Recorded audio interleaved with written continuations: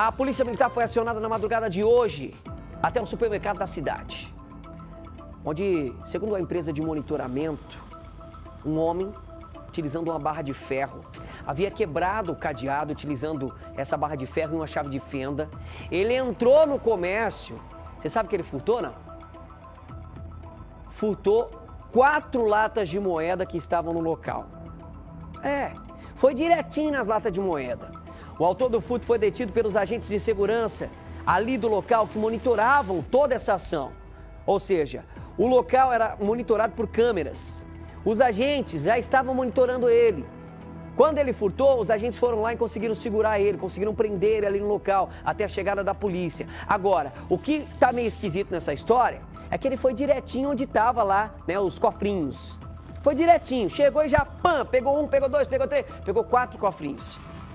Aí aquilo que a gente fala, na gíria policial, como que esse cara sabia e foi direto nesses cofrinhos? A polícia está investigando agora, né? Através das imagens de câmeras de segurança também, né?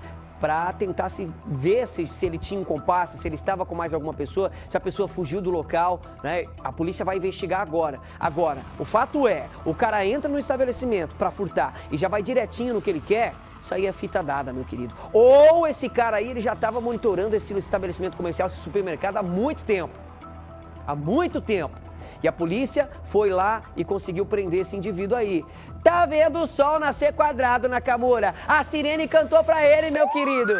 É, a Sirene cantou e agora ele tá lá, atrás das grades, tá assistindo Pulseira de Prata nesse momento, né, queridão? Tá tomando um chazinho de canequinha. É, compensou?